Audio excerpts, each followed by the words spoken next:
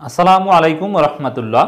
আট ডিসেম্বর তেইশ, বাংলাদেশ নিয়ে সমীকরণের নতুন মোড়। সুখবর বিএনপির না আওয়ামী লীগের? বাংলাদেশ ইস্যুতে মিত্রদের পাশে পাচ্ছে না যুক্তরাষ্ট্র। এই নিউজটায় আওয়ামী অঙ্গনে খুশির বন্যা। আওয়ামী লীগের জন্য অনেকে বড় সুখবর হিসাবে চিত্রিত করছে। আরও অনেক ঘটনা একই সাথে কানেক্ট করে জনগণকে বোঝানোর চেষ্টা করছে আওয়ামীপন্থী বুদ্ধিজীবীরা। এই যে পিটার হাস বোয়িং কেনার প্রস্তাব দেন মানে নির্বাচন নিয়ে এখন সিরিয়াস না, ব্যবসা বাণিজ্য নিয়ে সিরিয়াস আর ব্যবসা বাণিজ্য বা নানান কারণে বাংলাদেশের বিরুদ্ধে ব্যবস্থা নিবে, তাতে যুক্তরাষ্ট্রে অনেক মিত্ররা সায় দিচ্ছে না।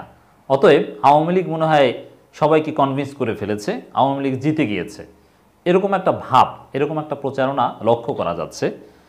কিন্তু না, এটা আওয়ামী লীগের প্রোপাগান্ডা আওয়ামী লীগের ডিপ্লোম্যাটিক সেলের প্রোপাগান্ডা তথাকথিত ডিপ্লোম্যাটিক সোর্স ব্যবহার করে আওয়ামী লীগের যে চিন্তা, জনগণকে যে একটা ভিন্ন ভুল বার্তা দিতে চায়, যে আন্তর্জাতিক সম্প্রদায় থেকে কোনো চাপ নেই, তার অংশ হিসাবে আওয়ামীপন্থী মিডিয়ার মাধ্যমে নানানভাবে কৌশলের অংশ হিসাবে এ ধরনের নিউজ ছড়ানো হচ্ছে।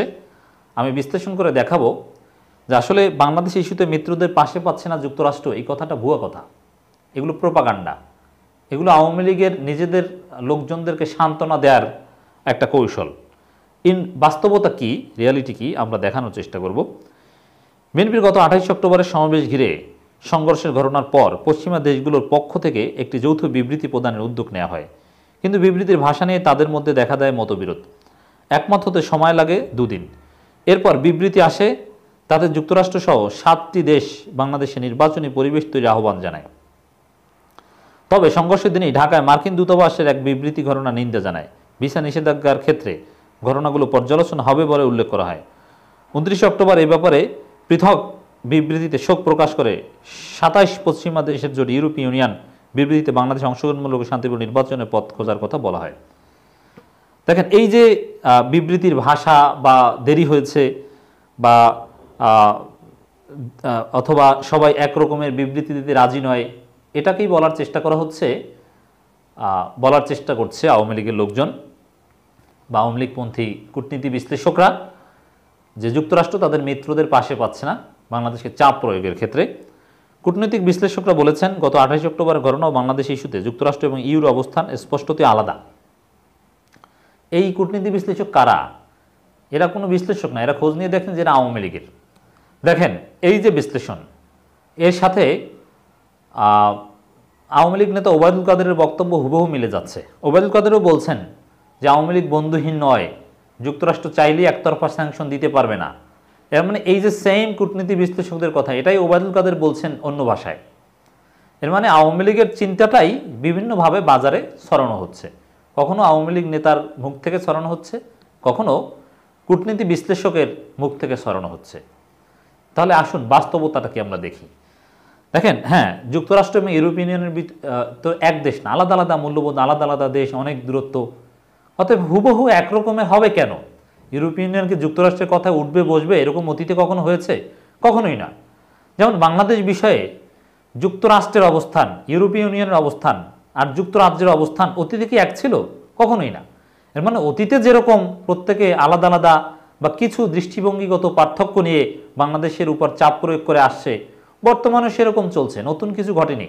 মানে এই নিউজের মাধ্যমে এমন একটা বার্তা দেওয়ার চেষ্টা করা হচ্ছে যে মনে হয় আওয়ামী লীগ, ইউরোপীয় ইউনিয়ন, যুক্তরাজ্য অনেকে কনভিন্স করে ফেলেছে। শুধু যুক্তরাষ্ট্র একা এখনও কঠিন, অন্য কেউ মনে হয় কঠিন না। না, এটা নতুন কিছু না। কিছু পার্থক্য, ভাষাগত পার্থক্য, বিবৃতিতে কে কোন ভাষা ব্যবহার করবে, এটা আগেও ছিল এখনও আছে। দেখেন, এই যে ইউরোপীয় ইউনিয়নের ক্ষেত্রে একটু সফট ইউরোপীয় ইউনিয়ন নিয়ে এখন আওয়ামী লীগ সন্তুষ্ট, এরকম বোঝানোর চেষ্টা করা হচ্ছে। কেন? ইউরোপীয় ইউনিয়নের পার্লামেন্টে মানবাধিকার বিষয়ে যে প্রস্তাব গৃহীত হয়েছে, তাতে আওয়ামী লীগ সরকার কি ক্ষোভ প্রকাশ করেনি? এবং ইউরোপীয় ইউনিয়নের বিবৃতির বিরুদ্ধে আওয়ামী লীগ কথা বলেনি অতীতে? বলেছে। জাতিসংঘের বিরুদ্ধেও তো কথা বলেছে। জাতিসংঘের বিবৃতিতেও তো ভুল বলেছে। ইউরোপিয়ান ইউনিয়নের যে বিবৃতি, সেটা কি কোনোভাবে আওয়ামী লীগকে সমর্থন করা হয়? ভারত বা চীনের মতো বা রাশিয়ার মতো? কখনোই নয়। অতএব নতুন কিছু না। এগুলো আগের, আগেই যেহেতু আলাদা আলাদা দেশ, প্রত্যেকের ফিলোসফির মধ্যে কিছু পার্থক্য থাকে, সেই পুরনো স্টাইলই চলে আসছে। নতুনভাবে এমন না যে যুক্তরাষ্ট্র পাশে পাচ্ছে না। যুক্তরাষ্ট্র আগেও যতটুকু পাশে পেত, এখন ততটুকুই পাশে পায়। এখানে নতুন কিছু ঘটেনি। এটা আওয়ামী লীগের জন্য মোটেও খুশির খবর কিছু নয়। এটা কৃত্রিমভাবে আওয়ামী লীগের লোকজন প্রপাগান্ডার অংশ হিসেবে ছড়িয়ে দিচ্ছে। আশা করি বুঝাতে পেরেছি। আপনাদের একটা আরেকটা প্রমাণ দিই, দর্শক। দেখেন, র্যাবের উপর যুক্তরাষ্ট্র যে তথ্য উপাত্ত গ্রহণ করে স্যাংশন দিয়েছে। সেম তথ্য উপাত্ত গ্রহণ করে যুক্তরাজ্য কিংবা ইউরোপিয়ান ইউনিয়ন কিন্তু স্যাংশন দেয়নি। এর মানে পদক্ষেপ নেয়ার ক্ষেত্রে ভিন্নতা তো আগে থেকেই চলে আসছে। নতুন কি? যুক্তরাষ্ট্র পৃথিবীর বিভিন্ন দেশের বিরুদ্ধে স্যাংশন দেয়।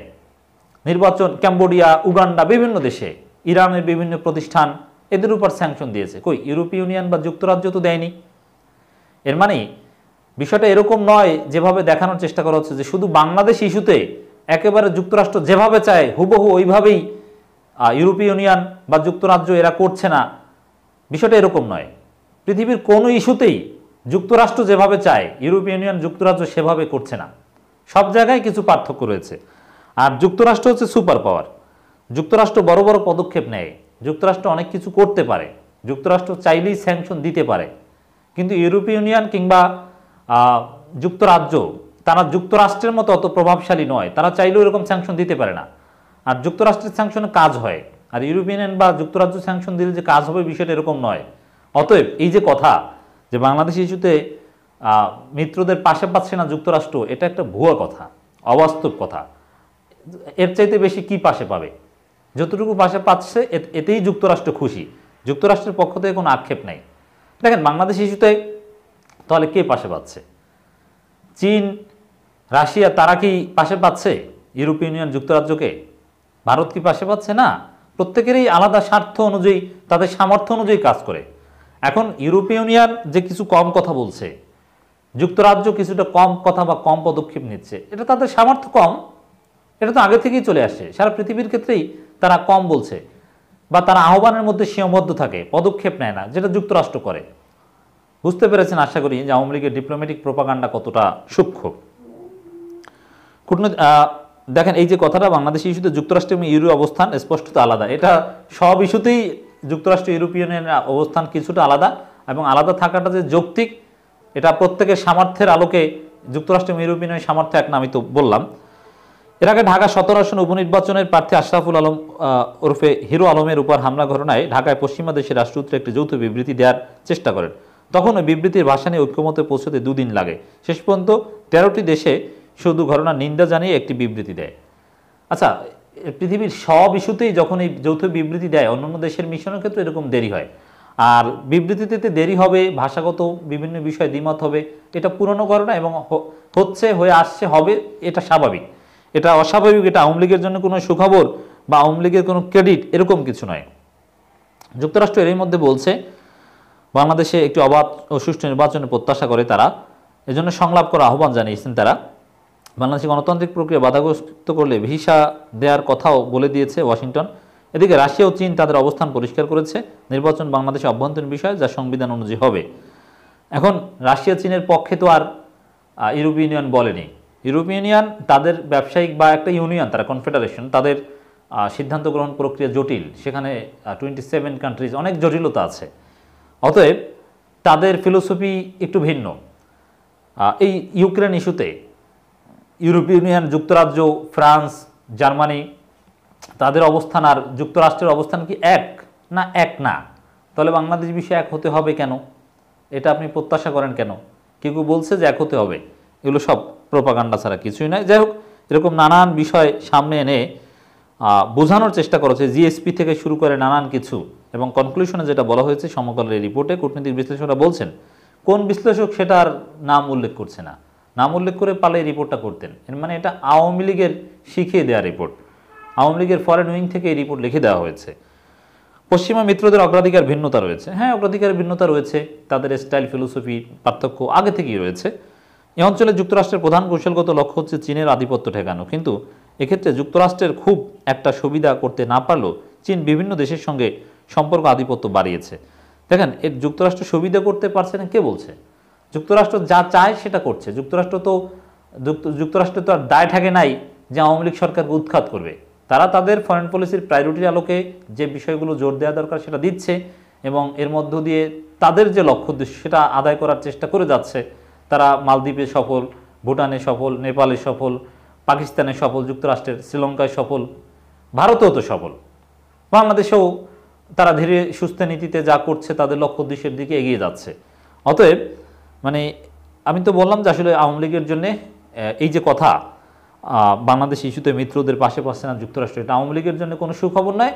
বিএনপির জন্যও আলাদা কোনো সুখবর নয়। তবে যুক্তরাষ্ট্র পশ্চিমাদের বা যুক্তরাষ্ট্রের মিত্রদের যতটুকু তৎপরতা তার সুখবর আওয়ামী লীগের চাইতে বিএনপি কিছুটা হলেও বেশি পাবে এতে কোনো সন্দেহ নাই।